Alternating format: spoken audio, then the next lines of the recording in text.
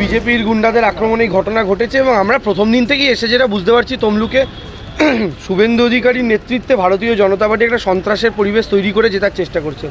জবে থেকে ওরা বুঝতে পেরেছে পায়ের তলার মাটি দুর্বল হয়ে গিয়েছে জবে থেকে ওরা বুঝতে পেরেছে তমলুক সিট হাতের বাইরে বেরিয়ে যাচ্ছে, তবে থেকে একটা সন্ত্রাসের গেম প্ল্যান মহিষাদল থেকে ময়না, নন্দীগ্রাম থেকে হলদিয়া সর্বত্র তারা চালাচ্ছেন এবং ইতিমধ্যে আমরা জবে থেকে এসেছি, শেষ আড়াই মাসে কমপক্ষে হলদিয়াতে আমাদের দুশো থেকে আড়াইশো কর্মী আক্রান্ত হয়েছেন। একের পর এক ঘটনায়। কখনো দিন কারোর মাথা ফেটেছে, কোনো দিন কারোর মা বাবাকে ধাক্কাধাক্কি করা হয়েছে, কোনো দিন কাউকে বাড়ি ছাড়া করা হয়েছে।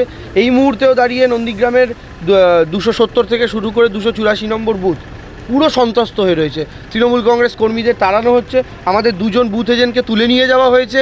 তাদেরকে কোথায় গায়েব করে দেওয়া হয়েছে আমরা এখনও পর্যন্ত জানি না।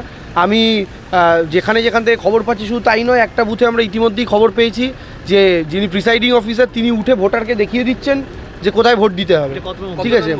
এটা এটা ঘটেছে আপনার এটা ঘটেছে হচ্ছে আপনার নন্দীগ্রাম চারের বুথ নাম্বার সেভেন্টি নাইনে এটা আমরা পুলিশ অবজার জেনারেল অবজারভারকে হোয়াটসঅ্যাপ করেছি এবং আমরা যাবতীয় যা ঘটনা আমাদের কমপ্লেন চলছে ইতিমধ্যেই। তবে আমরা বিশ্বাস করি টুকলি করে পাস করা যায় কিন্তু টুকলি করে ফার্স্ট হওয়া যায় না। শুভেন্দুবাবু বৃথা চেষ্টা করছেন। কোথায় অপহরণ করা হয়েছে?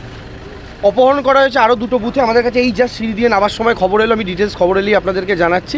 সেই জায়গাতে আমাদের অল্টারনেটিভ বসানো হয়েছে আমাদের এবং আমরা সেটাও পুলিশকে ইনফর্ম করেছি সোনাচুরা থেকে সবচেয়ে বেশি সোনাচূড়া থেকে গত দুদিনে প্রচুর ভোটারের ভোটার কার্ড কেড়ে নেওয়া হয়েছে আধার কার্ড জমা নিয়ে নেওয়া হয়েছে। প্রত্যেককে বলা হয়েছে যে যদি বাঁচতে চান জমা দিয়ে দিন রবিবার সবাই ফেরত পাবেন।